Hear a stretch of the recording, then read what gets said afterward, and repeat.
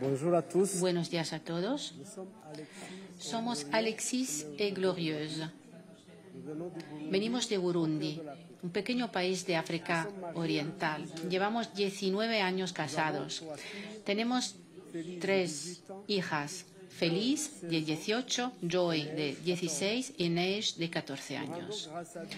Damos las gracias a Dios que siempre está a nuestro lado para tranquilizarnos y acompañarnos en nuestro camino como esposos que han elegido fundar su hogar en la fe de Dios, amor. Estamos aquí para compartir con ustedes nuestra pequeña contribución a través de nuestra vida como familia a la construcción de la Iglesia. Esta presentación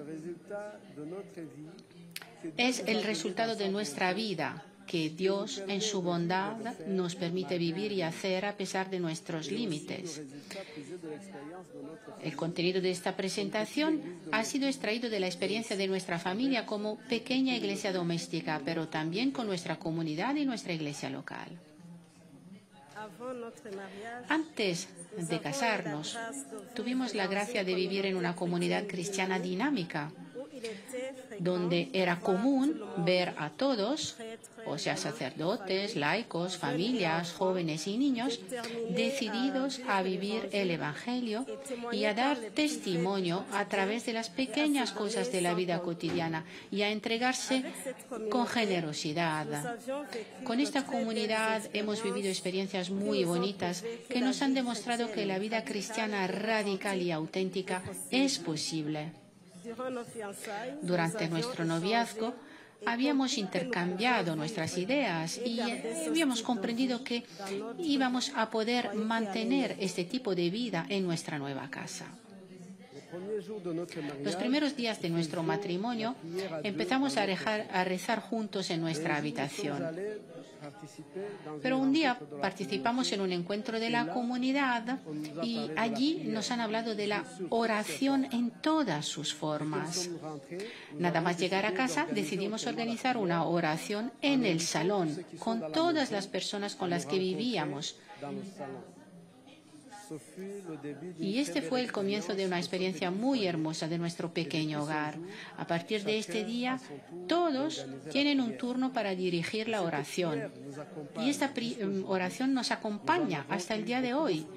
Y hemos logrado tener muchos frutos de esta oración. La paz, la paciencia, la fidelidad, la providencia, la luz, etcétera. Por lo que se refiere al apostolado en la Iglesia, hemos seguido el programa en la Comisión Diocesana para el Apostolado de los Laicos, donde ya yo servía. El local tenía un programa para fortalecer a los jóvenes mediante foros y otras actividades. Fuimos llamados a participar, ya sea en la organización o en la acogida o el alojamiento de jóvenes que venían de lejos. En otro momento, la iglesia local tuvo el honor de acoger la cruz de los jóvenes que tuvimos la gracia de acompañar de una diócesis a otra. A veces Volvíamos a nuestra casa tarde y cansados, pero llenos de alegría. El sacerdote encargado del apostolado de los laicos tenía que asegurarse de que todos habían llegado a casa sanos y salvos.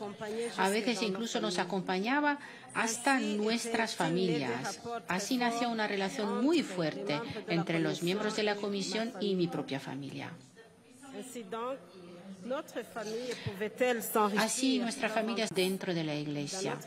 Por otra parte, la iglesia a su vez podía gozar de las gracias de nuestro sacramento del matrimonio expresadas por esta disponibilidad siempre renovada del amor entre nosotros como esposos. El nacimiento de los hijos es un don que aumenta nuestra alegría y nuestro sentido de la responsabilidad como padres. Sentíamos la responsabilidad de bautizarlos lo antes posible. En un momento dado sentimos la necesidad de entender cómo regular los nacimientos. Decidimos, por lo tanto, seguir el método natural recomendado por la Iglesia. También. Esto nos permitió limpiar nuestra relación conyugal con la consideración de que el otro no es una herramienta de placer, sino que lo más importante es el amor hacia el otro. Como resultado sentimos la libertad de los hijos de Dios. La oración mencionada anteriormente hace de nuestro hogar una iglesia doméstica, donde los niños también reciben sus catequesis.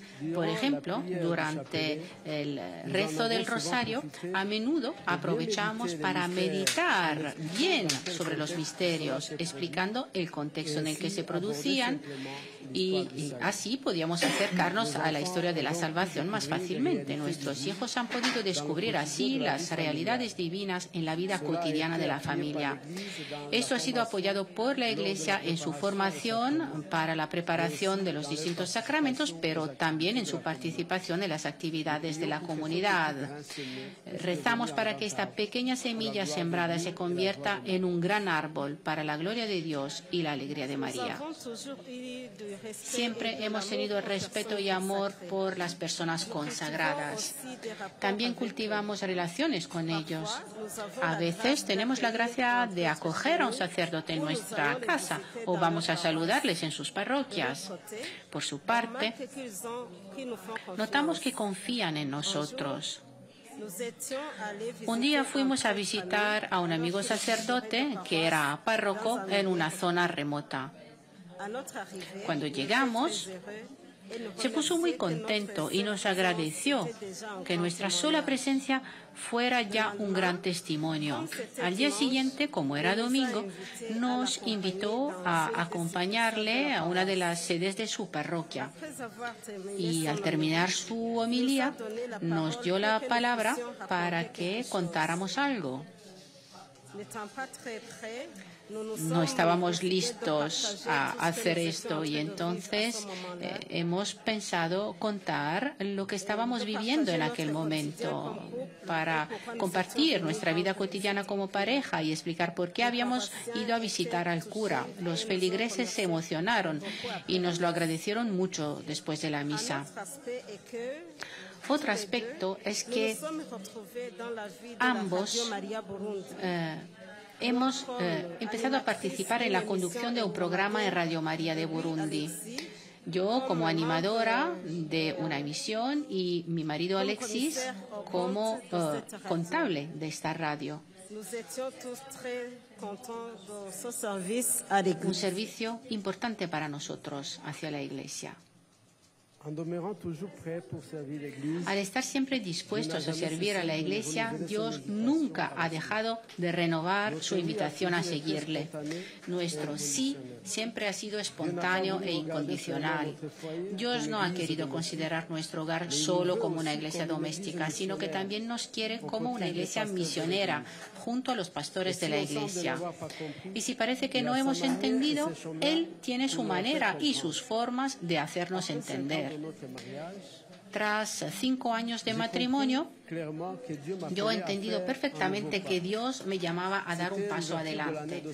Era la abertura del año de San Pablo en 2008 y en su homilía el sacerdote alabó la labor misionera de San Pablo y recordó que todos estamos llamados a ser misioneros por la gracia del bautismo. Y entonces me pregunté, ¿yo también? Allí sentí claramente la llamada de Dios a dar un paso adelante. Y cuando hablé con Gloriosa, no estuvo de acuerdo a principio. Sí, es verdad, no estaba de acuerdo a principio, pero porque yo pensaba que tenía que dedicarme más al desarrollo de mi familia y, él ha venido con esta llamada más. Y al principio no, no estaba muy de acuerdo y él dejó de hablarme de ello. Pero después Dios me invitó de otra forma. Nos envió un signo muy fuerte. Porque a un momento el tercero de nuestro hijo, de nuestra hija, se enfermó, una enfermedad terrible que no se podía curar.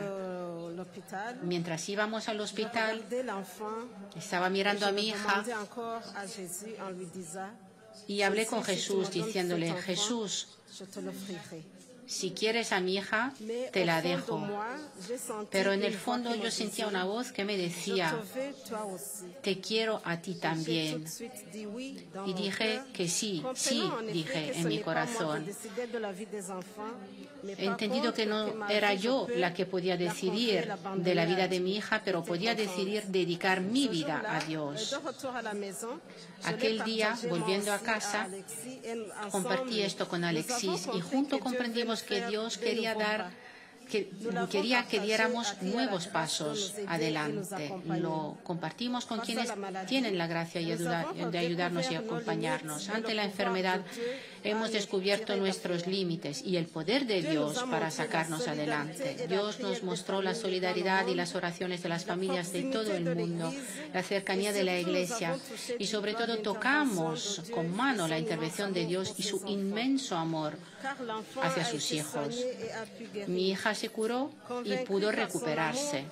Sobrecogidos por su amor y convencidos de que Él quiere que demos testimonio de este amor, Volvimos a confesar y renovar nuestro, nuestra fuerza apostólica como nuevo compromiso en la vocación del matrimonio. Unos años más tarde se nos encomendó el apostolado de las familias con especial atención a las parejas jóvenes. A través de este apostolado experimentamos la evangelización mutua, dejando que el único gran maestro en medio de nosotros nos lleve a seguirlo. Fueron años ricos en experiencias, oración, actividades en común y solidaridad. Redescubrimos la belleza de la pareja, la providencia divina, el compromiso y la decisión de la joven pareja de vivir según el Evangelio y de darse cuenta de que esto es posible. Después de esos encuentros siempre volvíamos más evangelizados que antes y enriquecidos por las experiencias de los demás. Dios nos ha ofrecido experiencias para concretar nuestro compromiso. Un día una religiosa nos llamó para confiarnos una joven pareja de un país lejano que no ni hablaba nuestro idioma. Este, esta pareja acababa de eh, casarse, querían hacer un viaje de boda en nuestro país y buscaban alojamiento en nuestro país a menor coste. Sentimos que era más bien una llamada de Jesús para ofrecer nuestro hogar. La pareja estaba muy contenta y pasó una semana en nuestra casa, felizmente. Se ha desarrollado una muy buena relación entre nuestras familias y de vez en cuando las visitamos en, sus país, en su país, donde siempre recibimos una